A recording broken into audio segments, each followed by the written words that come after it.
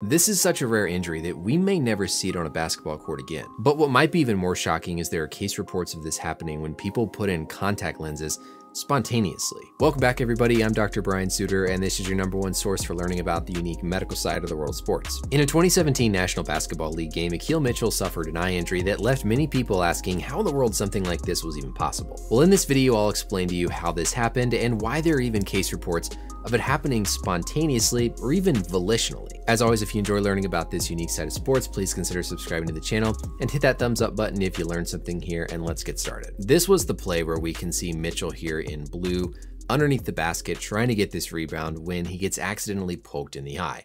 It looks like it's kind of right here on that last final jump where the other team just accidentally hits him in the eye and we can see Mitchell go down to the ground immediately concerned about what had happened. As he rolled over, the cameras caught this image where it appeared that his eyeball had basically popped out. This is something known as a globe subluxation. Globe meaning eyeball, and the subluxation implying the act of coming forward kind of out of its normal position. These can of course occur with trauma, but there's also case reports of them happening volitionally when someone basically chooses to do it, and even spontaneously with something as simple as putting in a contact lens. We'll talk about the eye anatomy and why this can happen spontaneously, but first I want to give a shout out to the sponsor of today's video. Today's video is sponsored by Policygenius, an insurance marketplace that's going to help make getting life insurance simpler and more affordable. If you have family members who depend on your income, you need life insurance. It's that simple. But the process can be complicated, and unfortunately, we're not taught how to navigate it in high school or college. Policygenius is here to make that simple by providing personalized quotes from top life insurance companies in a matter of minutes. And the best part is you could save 50% or more on life insurance by comparing quotes with Policygenius. Use the link in the description to visit policygenius.com slash Brian Sutterer MD to shop the market and start saving today. It's a straightforward process that's going to guide you through a series of questions to make sure it's getting the right quote for you. And if you have any questions, you can get advice from unbiased Policygenius experts. Their team is going to handle all the paperwork, the negotiations, and really make this as low stress of a process as possible. So again, head to policygenius.com slash Brian Sutterer MD to shop the market and start saving today. You could save $1,300 or more per year by using Policygenius to compare life insurance policies. Look, we never know when something unexpected is going to happen, and a life insurance policy is one of the best ways that you can help ensure financial stability for the family that depends on you. And there's no time better than the present to do this. So thank you again to Policygenius for sponsoring today's video, and let's get back to our learning. What I've done with our biodigital anatomy tool is highlight the relevant eye anatomy that applies to this type of an injury. I've essentially removed all the skull here, and so looking in the front, we of course have our skin, we have the globe or the eyeball itself, but then if we turn around to see what's behind, we can see all of these different muscles that are key for controlling our extraocular movements. We have to be able to look to all directions, up and down, and even rotate the eye.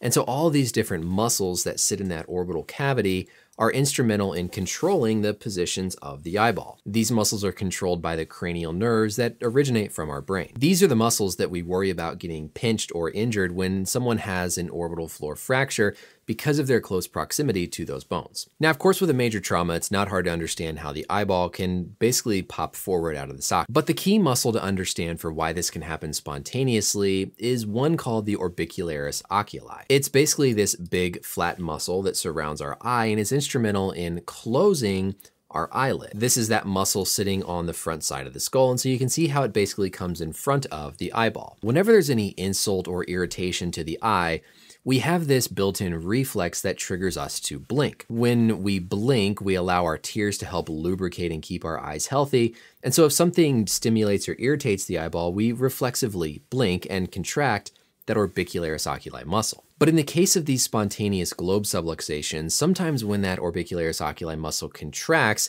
it basically contracts up behind the eyeball and gets stuck back behind the eyeball. In the case reports where this happens to people who put in contact lenses, it's essentially thought that the act of spreading the eyelids wide open in part pushes that muscle further back. Then if you get any sort of irritation or kind of dryness of the eye, you trigger that blink reflex, but then as the muscle contracts, it's displaced behind the eyeball, and so it gets stuck behind the eyeball and causes the eye to sublux forward. There's another case report about this where a patient said that he had been laughing hard, accidentally brushed his right eyelid with his open hand, and subsequently experienced excruciating eye pain. So in that case, some of the pressure that can build up behind the eye combined with touching the eyeball triggers that dry eye blink reflex, the eyeball comes forward, and then the lid gets stuck essentially back behind the eye. There are a number of medical conditions where you have something called proptosis, which is when the eyeball basically is more protruded than normal, and sometimes people can volitionally control pushing the eyeball back out. In the case of Mitchell, what probably happened is that finger poking him in the eye induced a little bit of pressure, but then also caused that blink reflex when the eyelid was in a compromised position to make it easier to get stuck back behind the eyeball. Now, thankfully, Mitchell's vision was just fine. He even joked with this tweet that he sent out shortly after the incident occurred. He basically said that once he got in the ambulance, they gave him a little bit of pain medicine,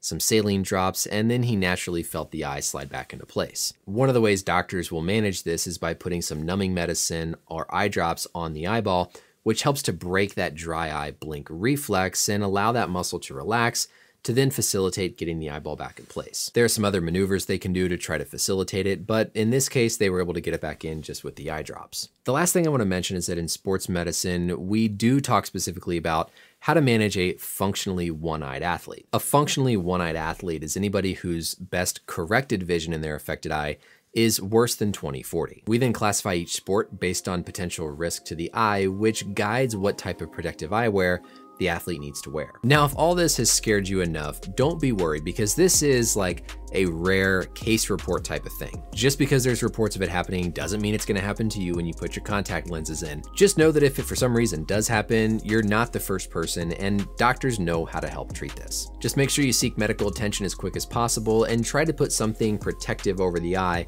so that it doesn't get pushed on or suffer any additional injury. On the court, I'm probably gonna be trying to put something like a plastic cup over the entire eye socket to protect that eye while I can then get them back somewhere to get the optimal treatment. So that's it for the video, everybody. I hope this was educational and you learned a little bit about our eye anatomy and how in the world something like this actually can occur. Let me know as always any questions or comments down below. And until next time, we'll see you later.